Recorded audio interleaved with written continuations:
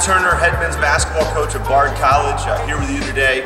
Uh, I've got freshman big guy Brandon Cunningham next to me. Uh, we're going to run you through what we call uh, the inside rebounding series. It's a great drill for a big guy or a guard to work on their rebounding timing and their finishing inside, especially off of rebounding situations.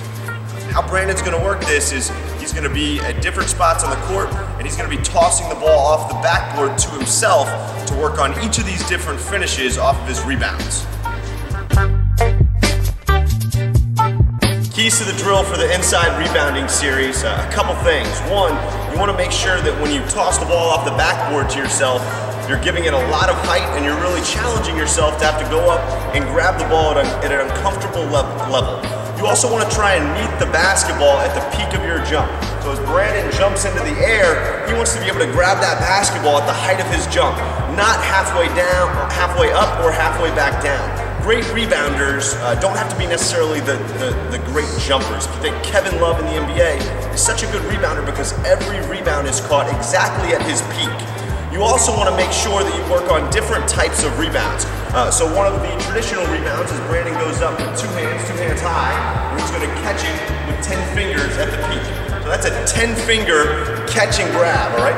The other one is sometimes the rebound will be outside of your rebounding or catch radius, and you're gonna have to go grab it with one hand, and you're gonna have to snatch it and grab it with one hand. So if the ball's outside of Brandon's catch radius, he's gonna have to go catch it with one and rip it back with two. You also wanna make sure that you never bring the ball below your chest level or chin level.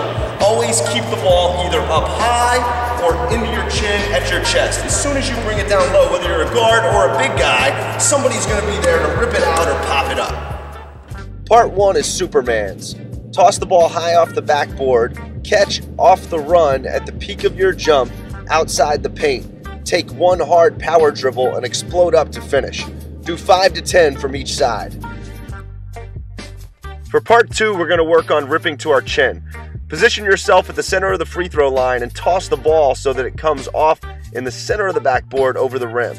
Catch at its peak and focus on ripping from your catch hard down to your chin. Make sure you're focused on not bringing the ball down to your chest or waist level where little guards can get in and poke it away. Finish it off with a power finish in front of the rim. The third thing we're going to work on is an up fake and finish off of a rebounding situation. All of your fundamentals for rebounding are exactly the same. This time we're going to be off to one side of the backboard or the other and finish rebounding on the side. And when you come down, ripping to the chin, but here, up faking, selling the defense that you're going back up for the finish. Make sure you keep your body low and sell the fake to the defense before exploding back up and trying to get two hands to the backboard to finish. Part four, we go into Pau Gasol's. On Pau Gasol's, we want to focus on keeping the ball high, above our head or even behind our head, and quickly exploding right back up to finish when we land. For these, it's not about how high you can jump, it's about keeping the ball high away from the defense and quickly exploding back up into your finish. This is the way that you're deceptive and you stay away from the guards below you. For part 5 rim or net touches, our goal is to develop strong hands while we rebound. We want to throw the ball off the backboard so that it comes off over the front of the rim. On your catch, you want to slam the ball hard off the front of the rim, or if you can't get up that high, just off of the net. Come down, keeping the ball at your chin, and explode back up into your finish. You should be working hard enough and doing this with enough force that you even lose the ball every once in a while. Part 6 Step Throughs. Here we're going to work on rebounding and coming down and using our footwork to find different finishing angles.